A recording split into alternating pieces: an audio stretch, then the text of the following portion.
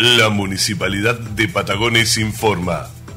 San Blas, el intendente Sara mantuvo reuniones con el Centro de Jubilados y Trabajadores de la Salud. Este jueves el intendente municipal, ingeniero José Luis Sara, visitó la localidad de Bahía San Blas y se reunió con el personal de la unidad sanitaria y referentes del Centro de Jubilados.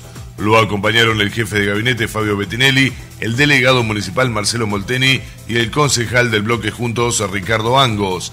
En la ocasión, el jefe comunal conversó sobre diversos temas relacionados a los servicios que se prestan a la comunidad con el doctor Hugo Murgio y el coordinador de la unidad sanitaria Luis Brandel. Por otra parte, Sara se reunió con referentes del centro de jubilados, quienes brindaron detalles sobre el proyecto que tienen para la construcción de la futura sede y le comentaron que ya tienen la personería jurídica.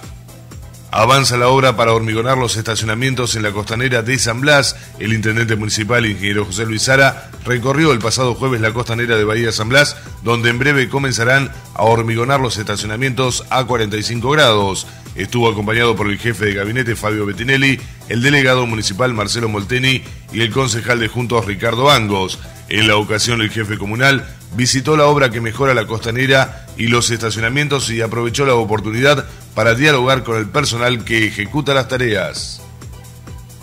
El intendente Sara firmó un importante convenio de adhesión al Programa Nacional de Descontaminación y Compactación. Este miércoles en Juana Pradere, el intendente José Luis Sara se reunió con el director del Programa Nacional Prodeco, Jorge Fernández. El jefe comunal estuvo acompañado por el jefe de gabinete, Fabio Bettinelli, el secretario de Seguridad, Sandro Pino, y la delegada municipal, Rosana Teruel.